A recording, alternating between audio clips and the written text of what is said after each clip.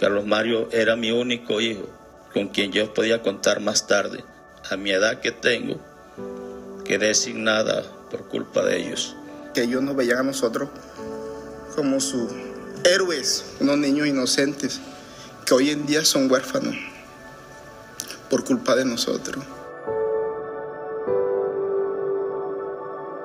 Siempre estuvimos encadenados y cuando nos cogieron, pues yo le dije a Héctor, tranquilo que no nos van a matar, nosotros valimos plata para ellos.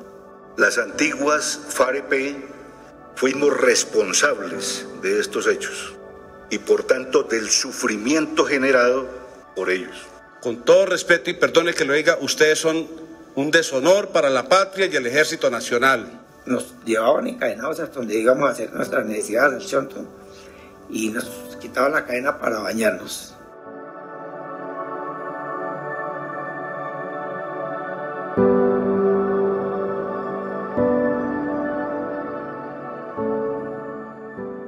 Escuchando estos testimonios y a más de 330 mil víctimas acreditadas en los macrocasos abiertos, la Jurisdicción Especial para la Paz le sigue cumpliendo a Colombia.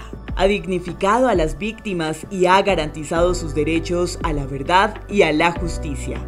En particular, se ha promovido su activa participación en más de 353 audiencias públicas realizadas. Pues se supone que ustedes tenían que velar por lo nosotros, los colombianos, y quisieron masacrarnos, acabar con nuestros sueños.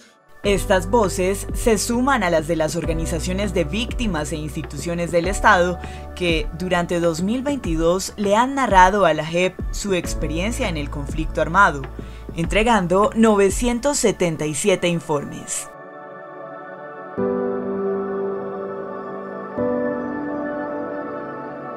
Este año, la JEP abrió tres nuevos macrocasos. El macrocaso 08, que investigará los crímenes cometidos por la fuerza pública y otros agentes de Estado, en asocio con paramilitares o terceros civiles. El macrocaso 09, que investigará los crímenes cometidos contra pueblos y territorios étnicos.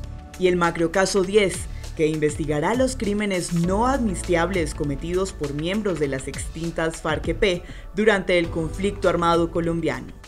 Fuimos nosotros, como extinta organización guerrillera, quienes los tuvimos cautivos, quienes los forzamos a caminar, quienes los asesinamos y desaparecimos.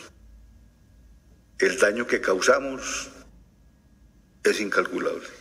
De los 10 macrocasos abiertos, se resalta que en el 01 sobre secuestro y el 03 sobre los denominados falsos positivos, por primera vez en la historia se dio el reconocimiento de verdad de los máximos responsables frente a las víctimas, la justicia y el país.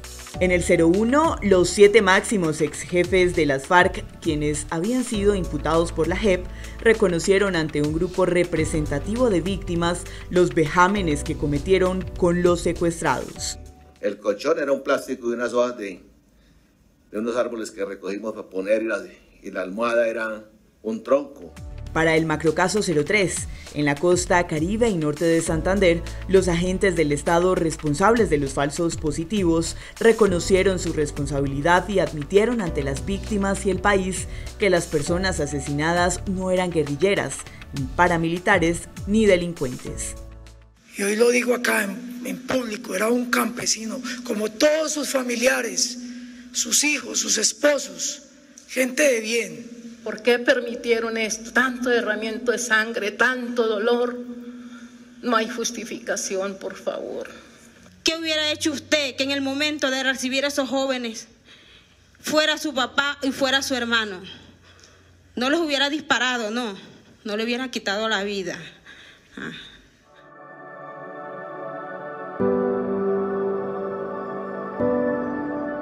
Desde 2018 hasta agosto de este año, 13.493 personas se han sometido a la jurisdicción. De ellas, 72.9% son exintegrantes de las antiguas FARC-EP, 25.8% son integrantes de la fuerza pública, 0.7% son otros agentes del Estado, 0.5% son terceros civiles.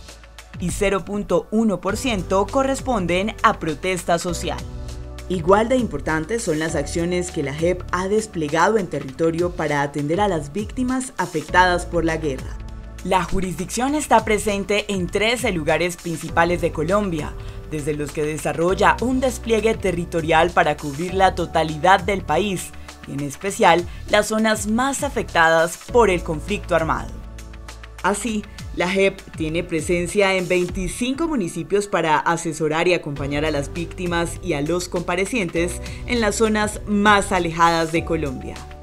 La JEP ha asesorado jurídicamente a 10.263 víctimas y a 12.694 comparecientes. También les ha otorgado representación judicial a 4.197 personas sometidas a la jurisdicción. Allí, 2.079 comparecientes recibieron acompañamiento psicosocial grupal y 482 lo hicieron de manera individual.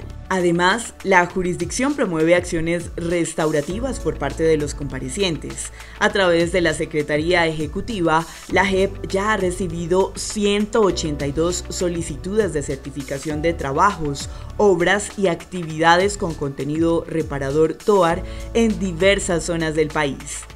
Y como se avecina la imposición de sanciones de la JEP, se firmó con la misión de verificación de Naciones Unidas en Colombia un protocolo que activa el mecanismo de monitoreo y verificación de las sanciones propias.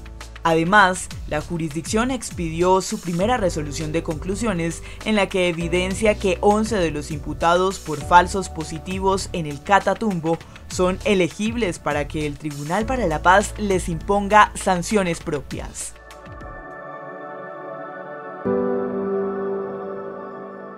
El aporte de la Unidad de Investigación y Acusación ha sido fundamental en los resultados obtenidos por la JEP en 2022.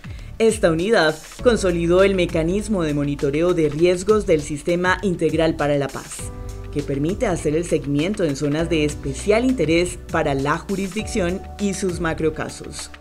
Se implementaron esquemas de protección individuales de víctimas, comparecientes y testigos ante la JEP, y esquemas de protección colectivos definidos por la UIA.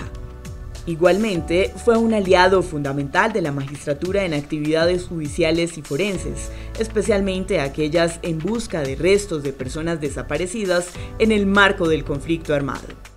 Luego de cinco años de funcionamiento, la JEP continúa materializando su deber misional en las regiones, para contribuir a cerrar las heridas que dejó el conflicto armado y construir desde la justicia transicional el camino hacia la reconciliación, la reparación y la garantía de no repetición en Colombia.